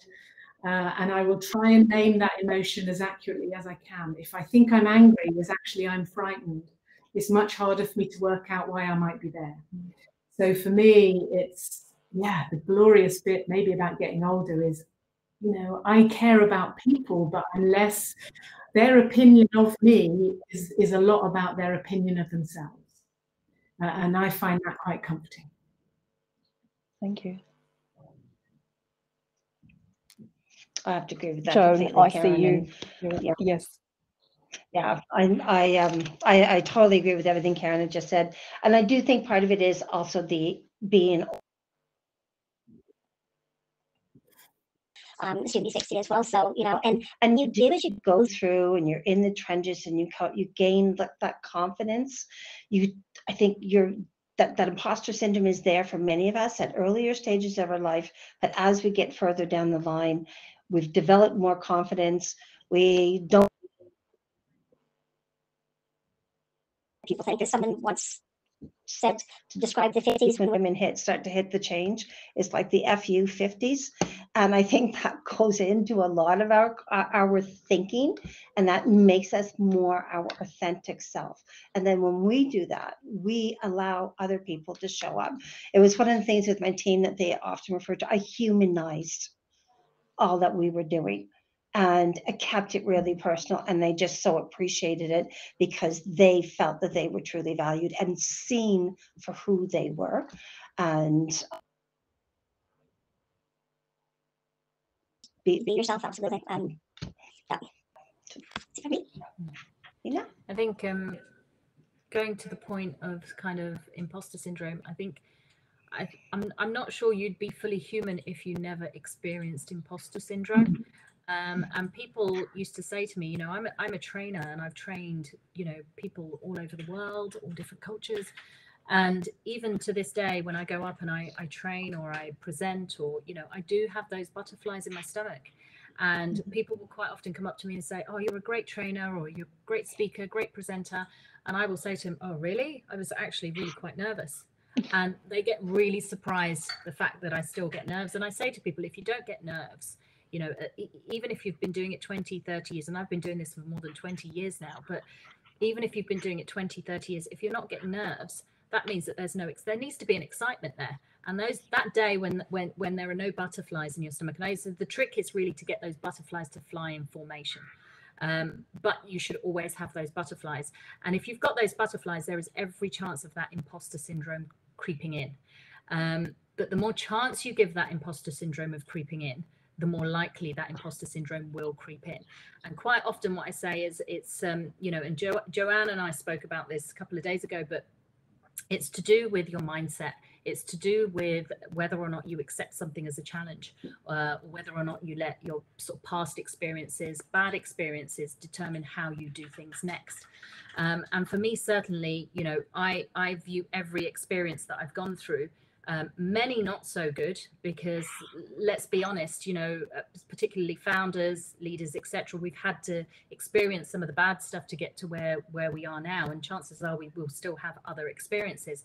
But the idea is that you you think about all that stuff that you've gone through in the past whether it's in your personal life or your work life or as a leader or as you're building your career and you ensure that you're taking all the good the good out of that and making sure that you, learn from that and you understand that okay well that wasn't a particularly good experience however what i learned from this experience was this and going forward i won't do this next time um, so i think as far as imposter syndrome goes the reason why it, it comes in, the reason why it's there is because there is a fear of something there. There is a fear of something going wrong, a fear of us not uh, thinking to ourselves that maybe we can't do this, um, a fear of failure, a fear of people laughing at us, whatever that might be. That imposter syndrome is only there because you fear that you may not be able to rise to the challenge. And that comes from your mindset. And that mindset comes from the history of whatever it is that you've you've gone through. So the key really here is to change your change your way of thinking and really start thinking about surround yourself with people who are positive. Surround yourself with people who enjoy a challenge. And certainly don't surround yourself with people who are the same as you because what you want to do is you want to be able to fill those gaps that you can't and ultimately if you've got a team of people around you who are all the same you, you'll never know what you're doing, what you need to do differently. And it's the definition of madness doing the same thing over and over again and expecting a different result. Well, if you do have the same people around you, then yes, there will, there will, that will happen at all times. And this is why I'm quite, um, I often think about it is if I want to be really challenged, then what I should be doing is looking at bringing on people who are different from me. And you can only do that by really including people who are diverse. Yeah yeah i think it's also challenging yourself so surrounding by the people who challenge you and they say that you're uh, you know you, you become who you're surrounded by so so exactly but also changing because your journeys show that the moments when you challenge yourselves you you go a level higher or few levels higher now i was looking at some statistics um, from grant thornton and um, looking at women in, in leadership positions. So what I found there, because um, you know I, I, I, had some ideas, but I wanted to see whether actually they are they are true. So women hold 30, 31% of global mid-market leadership roles. 8.2% of Fortune 500 CEOs are women, and less than 1% of Fortune 500 CEOs are women of color. Uh, now, I I would like to hear your views. Why, why do you think this is the case? Is it that the barriers that the women are, mm, uh, you know, facing, or is it maybe uh, their self-limiting beliefs inside us that we create for ourselves to put ourselves, you know, to to toughen up and and put ourselves from the very start at that leadership position? Because very often we go to a meeting when we see the woman like, I will take up notes, and automatically everyone thinks, oh, so so she, she's going to do the admin job, uh, if you know what I mean. So so I'd like to to hear what what's your thoughts on that are. Karen, I see you're nodding. Over to you. I mean, my instinctive thought is, you know, maybe, maybe some women just make a smart choice and, and don't want to be CEO because it's lonely and it's difficult. And actually, there are better things in life. I'd rather be out in the lakes walking and I want to finish work at six. So, you know, I, I kind of think women have a choice you know I, am not gonna i'm not gonna define my life whether or not i've made it to ceo i have no interest in making it to ceo personally i'm certainly not going to do that now. I have an interest in being inspired in learning in knowing what my core values are and living them authentically. So i just like to kind of you know there isn't one measure of success. Mm-hmm.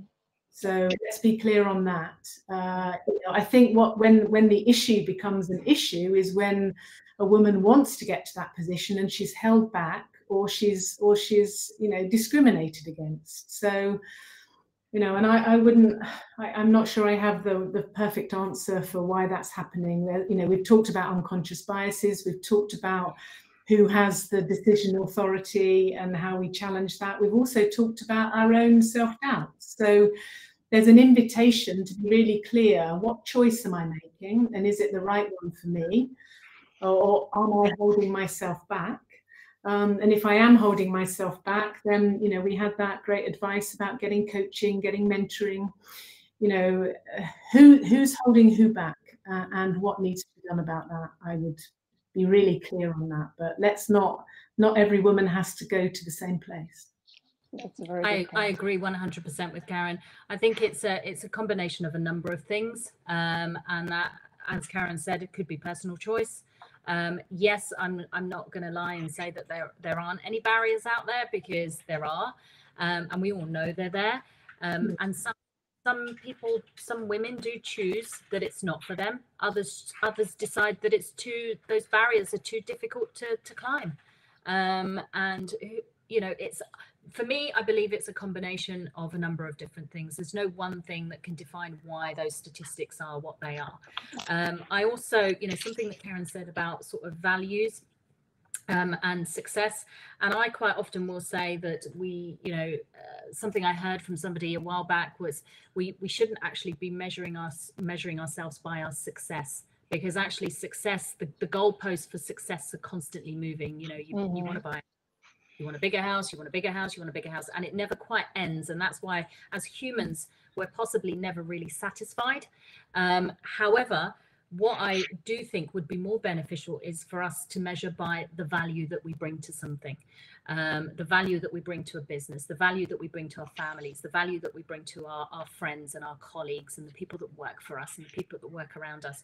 So that for me really is is is you know my thinking behind it and i think that definitely you know when women are thinking about moving into it, up up these these ladders and into positions that that they um, that they think they need to be um, because as as Karen has said, you know, being you know running a company is is a very lonely, stressful. It you know it's um, it, it ages you in more ways than one and not necessarily in good ways. Um, and the race to get there is you know what happens when you get there which is one of the reasons why a lot of people are not fulfilled.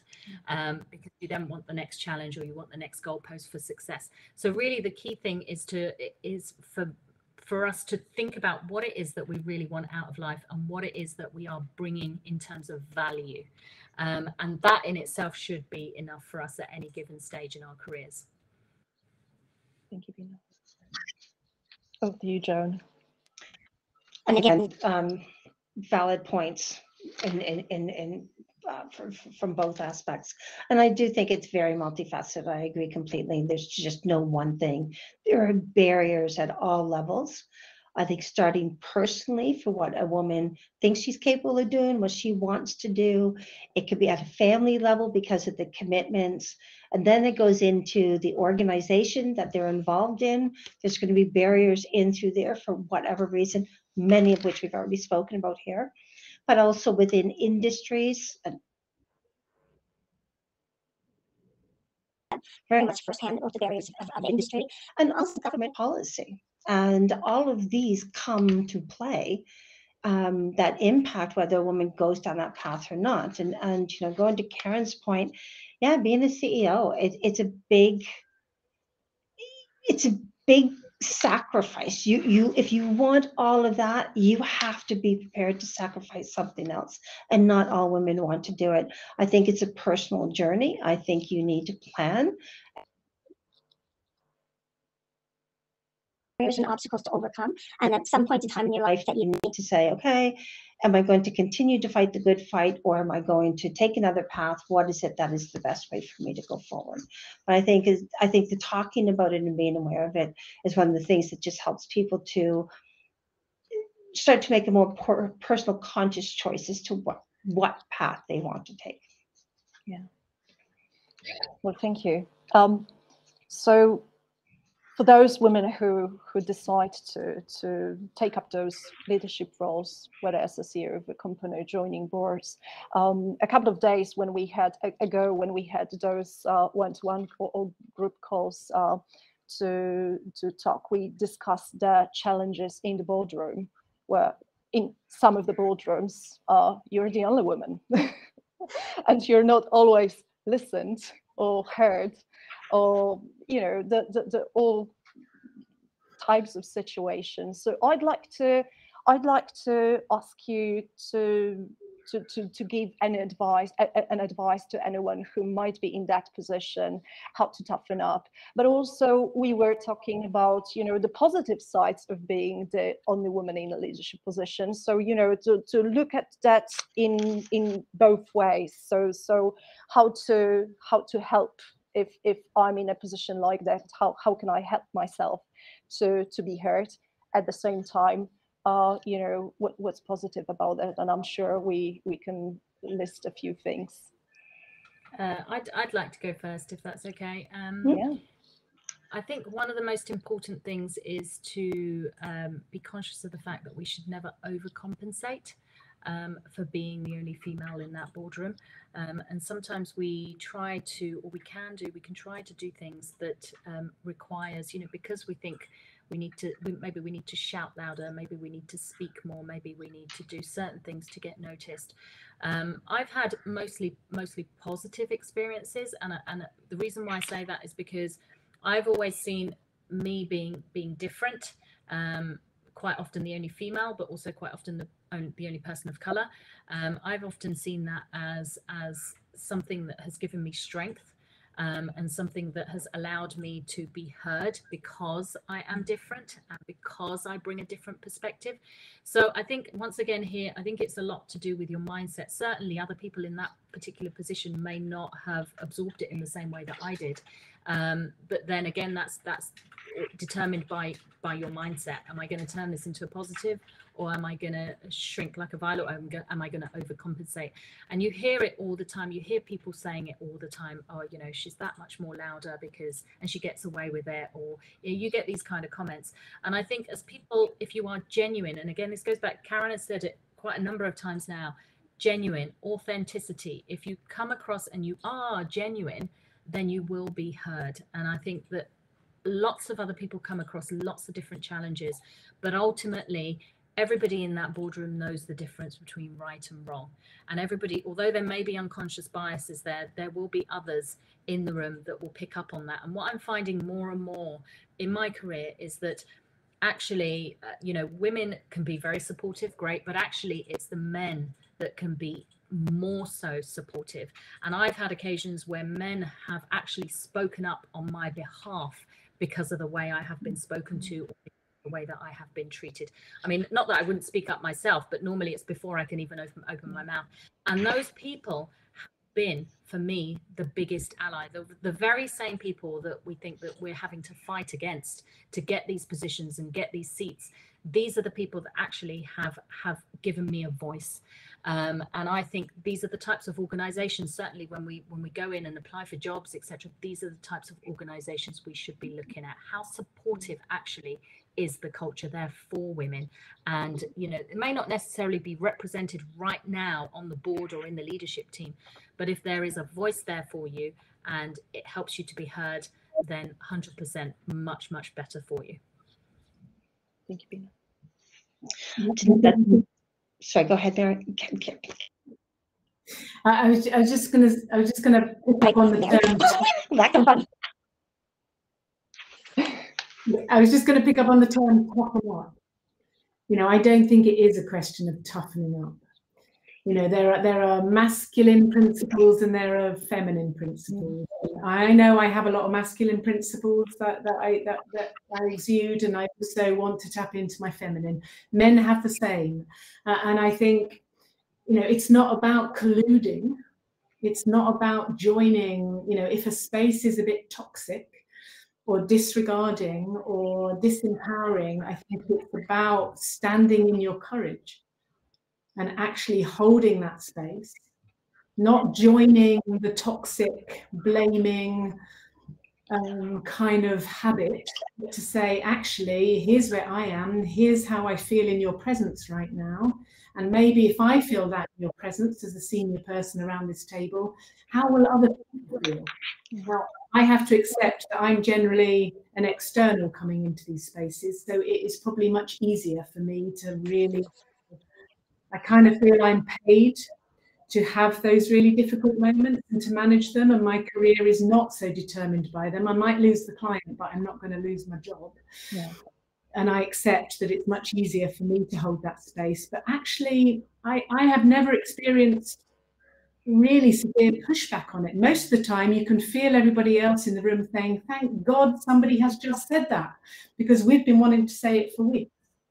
So there is something you can learn the skills to hold that space in a way that protects you and indeed makes it land much more easily with other people. And, and they're skills you can learn.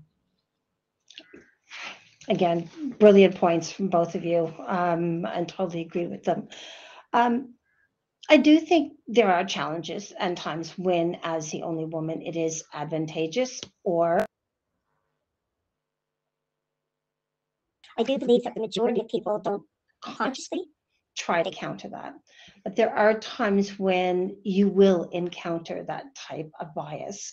Um, and you do need to, as you say, hold your own space, speak up, don't compromise yourself, still bring your authentic self. Um, sometimes what I've had happen, and and you know, you you go into the room and you just know they're thinking, yeah, ticking the box. We've got the woman diversity thing, and and occasionally what I've done is jokingly have said, okay, if as I read the room, and if I get a sense that that's coming across, then I might speak up and say. About the tick in the box for diversity, yes, I do all of that, but I'm actually here because I'm qualified to be here. So shall we move on and do it sort of in a funny way that's not challenging them. The other thing that I, I, I do, and as um, what I might suggest other people do, is again, I don't believe most people are consciously trying to be um, obstructive. And if you do mm-hmm. find that someone is pushing, what I often will do is go aside, take us, take them aside, and just have a friendly little chat and say, you know, this is how you know I feel. and give them the opportunity to be aware. In most cases, they will not realize that's what they sounded like. And then if it continues, you get to a point where maybe you really do need to raise um, raise the issue. And I have been in that situation as well, even at the, at the very senior level, where you know you either had a very misogynist male, and you've had to deal with that, um, I remember once when I first moved into this role and, and sitting with, which is a good balance of men and women, still predominantly male, but very traditional male dominated industries. And I remember sitting there thinking, I, I, made the comment out loud about the level of testosterone and how high I was getting off because you had six different leaders of their own markets and the men were just, you know, bouncing, bouncy. And it made a point to all of them that that's how they were coming across. They hadn't realized it. And um, it did help to change by speaking up to actually start to change that dynamic as well, so that it became a more cooperative as um, because in our business, you know, we had six different vertical markets and they all had their part to play, but they were really competing against each other rather than working together. And it really came across. So it's just being prepared to, again, speak up, as you say, hold your space for sure. Yep, thank you. Well, we, we, we're getting to the close of the event, but I have one final question, so let, let's do it quickly. Um, as we as we close the event, what is the final thought that you would like the audience to to take away with them, if there is any any, any a, a takeaway for for the listeners? Something that uh, build you up, helped you? Yes, Karen, please. Yeah, for me, leadership has to start with self awareness. Spend some time with yourself. Absolutely. Know, know what your triggers are. Know what your what your best day and your worst day looks like, and and be at peace with yourself and accept yourself first, and then be prepared to be authentic and share who you actually are with others. Thank you. Yeah.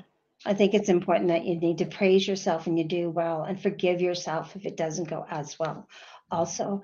And for me and and and, and building on what you've just said, Karen, is I am a true believer not only in the self-awareness but getting out of your comfort zone at least once a year I try to do something completely off the wall, like walk on fire or jump out of an airplane or whatever, just to get out of my comfort zone, because that way I start to get out of my way. And I think that's really important as well.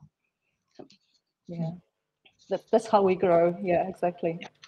Um, interesting, Joanne. Yeah, I'm exactly the same. I will do stuff that will completely challenge me, um, that most people would never even dream of. Um, yeah. But I do think that um, it's important to to remain um, uh, genuine and authentic, um, and you know understand that uh, as as humans, you know, yes, we are there to lead by example, etc. But we also have our own faults. Um, and we need to recognize that we're not necessarily perfect or right every time. And that's really important. One of the things I do want to address is somebody actually did ask a question in the chat about, um, he said he was quite concerned that we all sound like we're doing it on our own. Uh, with our leaders just to talk to once a month or, or so yes, it does sound like we're doing it all on our own, but we're not.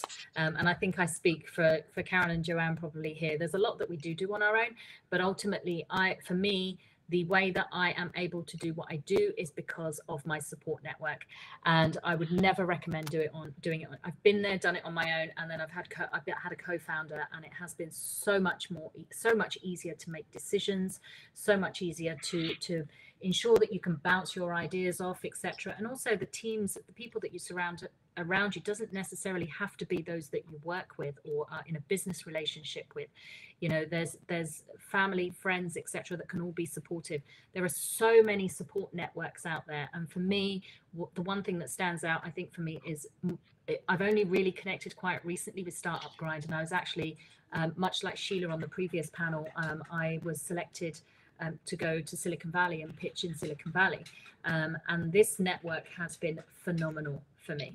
Uh, like a, when I applied for it, I had never even heard of Startup Grind. So it has been phenomenal. And even though I'm relatively new in tech, doesn't necessarily have to be in tech, but the network and the people are all looking for the, the same, you know, we're all looking for the same things. We all want support. We're all maybe a little bit lonely in our journeys. We want somebody to go to to ask questions, etc use your networks. If there's one thing i'm going to leave you is use those networks because everybody is in the same boat and everybody wants to achieve the same things out of it. So the networks can be where you can find your day-to-day support or your family support maybe isn't there or isn't quite what you wanted it to be.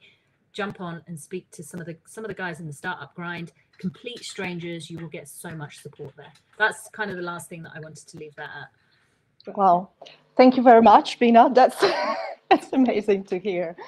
Um, I, I, know the Scottish team has been extremely supportive. I, I mean, flying 20 scale-ups to, to Silicon Valley, it's it's it's an amazing achievement. Uh, but all chapters are, are trying to, to feed into the ecosystem, really. Well, it's been um, an enormous pleasure to talk to you. We could continue and, and carry on and on, and um, I'm, I'm, sure we, we would come up with loads of questions and actually more more thoughts to share. Um, but we we are um, actually behind with time. I brought Simon to the stage um, just just to ask to see if uh, there is any final thought that you would like to share with us before we depart. Well, I, I, think it's been a fabulous uh, event. Thank you so much indeed uh, for all of the speakers today. I think both the first session and the second session have been uh, quite uh, broad, uh, yet at the same time offered real insights into people's businesses and how people think.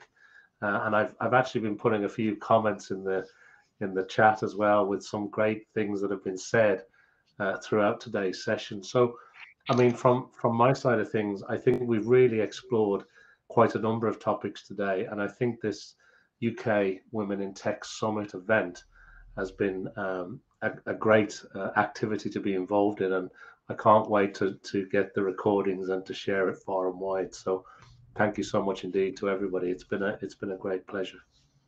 We've lost Patrycja. Yeah, yeah, we had a we had a we had a slight te- a technical challenge, I think, a, a couple of times now. But uh, look, it, has been fantastic, and I hope everybody has enjoyed uh, the event today. So we've heard from Joanne and Karen, and uh, of course Beena, who shared some wonderful insights from their own uh, experience and careers, and uh, I think that was particularly uh, impressive. And I also wanted to thank everybody who's been involved and for everybody who's tuned in from the audience perspective, because we've had some great questions, haven't we, throughout the event today, uh, which is really, really uh, good. I think we're at the end of time here and uh, we're, we're, slightly over, so apologies for that for everybody, but we do hope you've enjoyed it. We hope this Startup Grind event has been uh, good and that you've enjoyed listening to the speakers today. I do want to finally just encourage everybody to reach out to the speakers and of course to reach out to Startup Grind. I know Beena there, you were discussing the the Silicon Valley trip and what what a what a beneficial the organization has been to you.